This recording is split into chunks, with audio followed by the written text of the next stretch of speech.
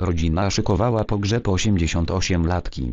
Okazało się, że kobieta żyje. Ostrowiecki szpital poinformował rodzinę o śmierci 88-latki. Okazało się, że kobieta jednak żyje. Pana żona nie żyje, usłyszał Zbigniew Matyjanek po odebraniu telefonu ze szpitala w Ostrowie Świętokrzyskim.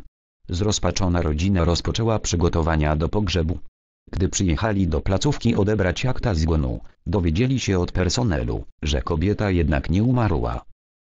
Zbigniew Matyjanek odebrał telefon o śmierci żony 17 czerwca, informuje TVN24. Po drodze do szpitala rodzina zdążyła udać się do zakładu pogrzebowego i rozpoczęła przygotowania do uroczystości. Gdy dotarli do placówki i poprosili o akta zgonu kobiety, zdziwione pielęgniarki odparły, przecież pani Matyjanek żyje. Stan 88-latki jest bardzo ciężki, podała rodzina. Nie mogą uwierzyć, jak doszło do pomyłki szpitala.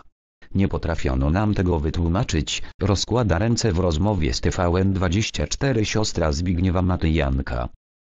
Dyrektor placówki, złamano procedury. Przepraszam.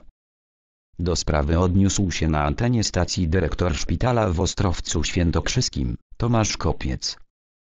Doszło do złamania procedury.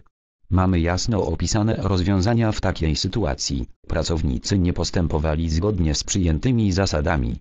Przepraszam, nie znajduję tu żadnego uzasadnienia i mogę tylko wyrazić współczucie dla rodziny pacjentki, powiedział. Jak wyjaśnił, nieprawdziwą informację o śmierci kobiety przekazała pielęgniarka.